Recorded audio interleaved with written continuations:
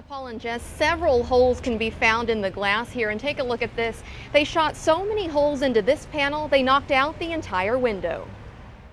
It seems that it's just bigotry in general. Shattered glass is what was discovered at Freedom, Oklahoma on Sunday morning after the group says someone took a small caliber weapon and shot multiple holes into their glass entrance. Uh, you can see six or seven holes out there right now. Troy Stevenson is the executive director for Freedom Oklahoma. The group advocates for the rights of gay, lesbian, bisexual, and transgender individuals. And he says similar groups in Tulsa, New Jersey, and Florida have also been hit with vandalism and other attacks. But he says they're not going to let what happened stop them from doing their work.